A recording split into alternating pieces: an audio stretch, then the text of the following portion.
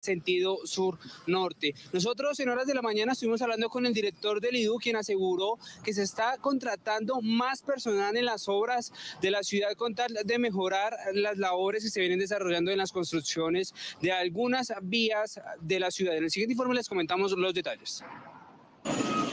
Cerca de 10.500 nuevos trabajadores comenzarán a laborar en diferentes obras de la ciudad. Esto ha ido incrementando en las últimas semanas. Precisamente le hemos insistido muchísimo a los contratistas que hay que acelerar, que hay que mostrar un mayor presencia en las obras con obreros, mejor rendimiento, más turnos de trabajo y en las últimas dos semanas incluso hemos aumentado más de 1.500 personas. Eso es una buena señal de que los contratistas son responsables en el trabajo que están haciendo. Esto servirá para reforzar las labores nocturnas en varias construcciones de la ciudad. En la avenida 68 hay más de 3.000, en las avenidas, aquí en la Caracas, por ejemplo, tenemos alrededor de 600, en la Cali tenemos un poco más de 1.000, tenemos también en la Laureano Gómez, tenemos también en la Mutis.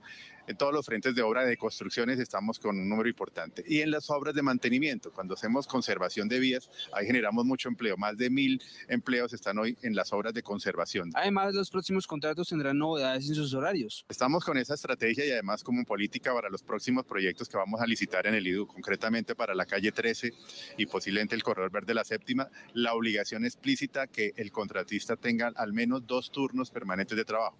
6 de la mañana a 10 de la noche sin parar. Este nuevo personal también viene realizando trabajos de mantenimiento en los puentes peatonales.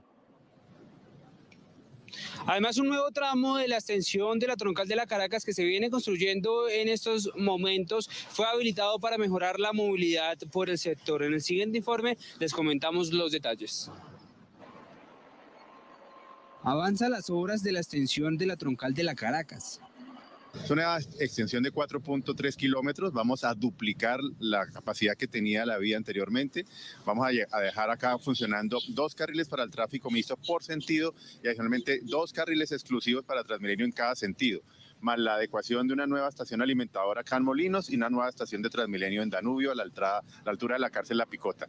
Este nuevo tramo que hace parte del puente Chihuahua fue habilitado hace tan solo unos días y hace parte de la extensión de la troncal Caracas.